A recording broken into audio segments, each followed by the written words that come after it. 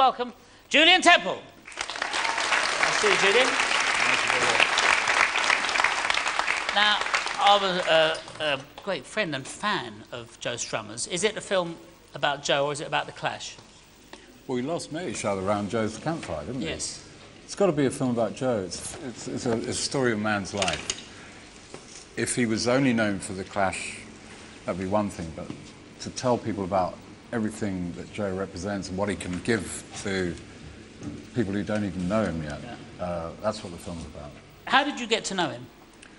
Well, I knew him as a squatter. I was squatting around here, you know. We used to squat in the BBC, where, anywhere. It was all, all available.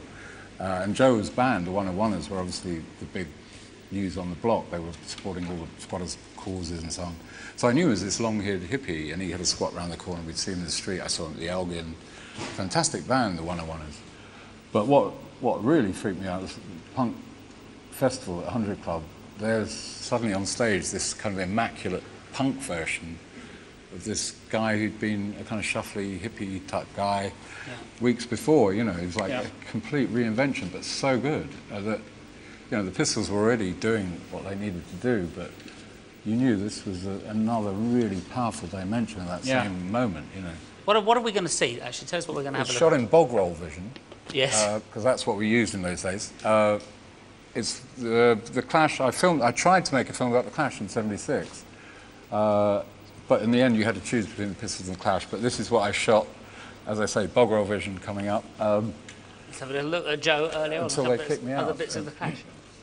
The day that I joined the Clash was very much back to square one, year zero.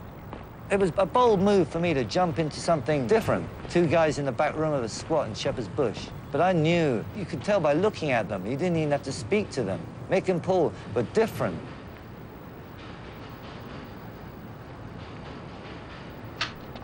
I think we started to rehearse that afternoon.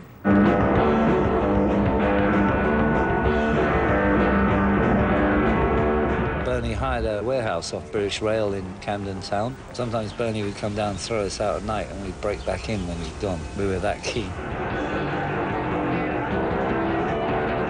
It was very much being like in a 24-hour gang, you know. We only had each other. Who, who are some of the um, who are some of the other people that have contributed to the film? There's people from other bands, you know. well, and lots other- of friends of Joe. We did it all around the campfire. So obviously there are people that people, you know, famous people, but there are a lot of people like you know that would be around jo- Joe's campfire who, who lived with him, knew him. So it's a mixture of all kinds of people. But you know, Jack Sparrow is there. Um, Bono, I think, it comes to the fire. Um, Martin Scorsese, who was a, a great fan of Joe's.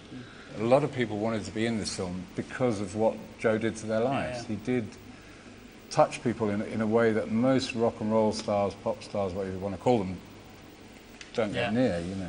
Now, you, you, you've made a lot of films, um, you know, about music, The Great Rock and Roll Swindle, Glastonbury, all the, lots of different films about music, really, or the feature music. What do you think makes a great music film?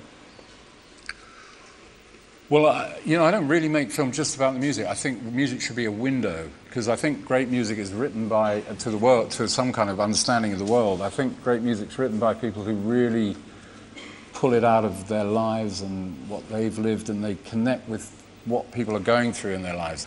What I feel you've got to get to is is what charged those people to make that song, sing that song. What bit of their life do they rip it out of? That's when music works to me, and that's what I'd like to film. It's a social thing, it's a cultural thing, and music is philosophy. It's it's dance. It's visual. You know, every it's, Sex, it's death, life, a the whole thing. You know, What's the, what's the film about Joe called?